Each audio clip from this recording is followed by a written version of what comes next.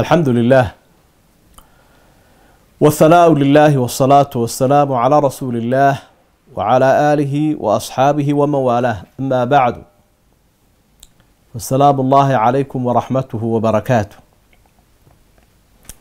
سؤال شو حسوا قرط السامية. فرانسيس كيف حسوا قرطي وحيلا هذا هي وحان النهاي ده طبعا كل ولا على waxaanu doonaynaa dhaxalkii aabbo inaanu qeybsanno waxaa diiday walaalka iyagii u weynaa. Dhib miyay leedahay haddaanu qeybsanno onu intiisa u dhigno? Jawaabtu waxa weeyaan dhexlayaasha mid ka midii hadduu codsado inuu dhexalkiisii helo in la siiyaa waa waajib.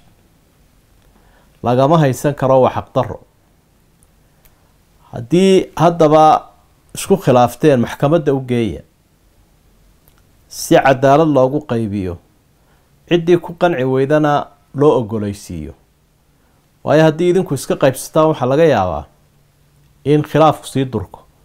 Marka halkaa aada joogtaan cidda u qaabilsan dhaxalka jaaliyadaha muslimiinta ama wadankabaa kula soo noqotaan hadduu maalku wadanka yaallo.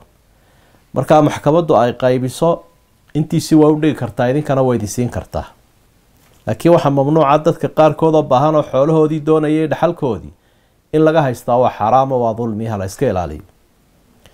Maxamed xasan ingiriiskuu ka soo qoray waxa uu leeyahay haddii salaadii ragcadaan ilaawo kadibna aan iska kaco anigoo meel jooga aan xusuusto ma ragcad baan soo celinayaa mise salaadii oo dhan?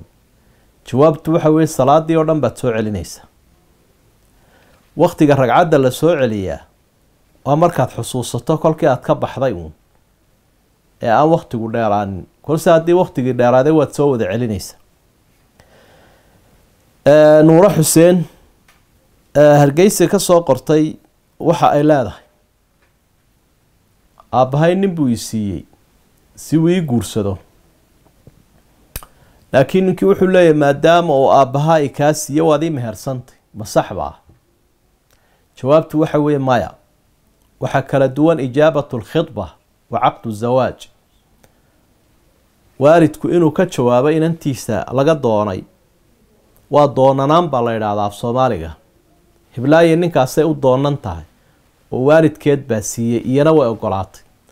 Marka doonanaanta ay u doonan tahay ee duntu ugu xidhan tahay ee laga ogolaaday inuu inanta guursado meherkii maaha laakiin caqadka iyo guntinta guurku waa mid gaar ah oo waa inuu weligu si gaara ugu guuriya ama wakiilkiisaoo wadaadka ah oo iijaab iyo qabuul baa la yidhaahdaa arkaan baanu leeyahay.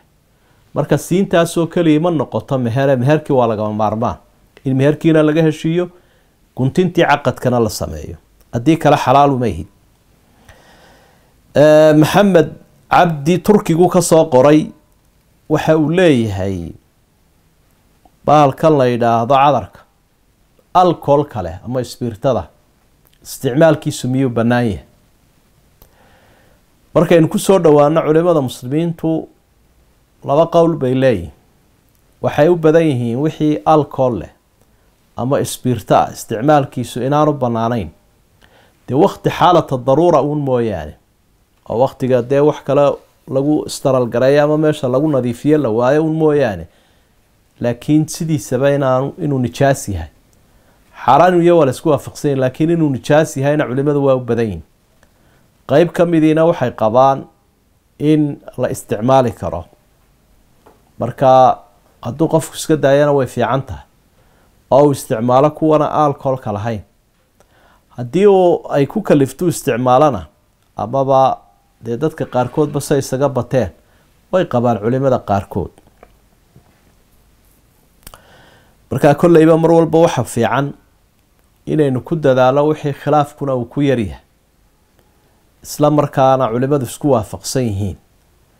Ilaahay waxaan ka rajaynayaa sawaabka inuu ina waafajiyo xaqana inagu hanuuniyo xalaashana inagu arsaaqo. Wahada ma aquluhu waastaqfiru allah والسلام عليكم ورحمة الله وبركاته.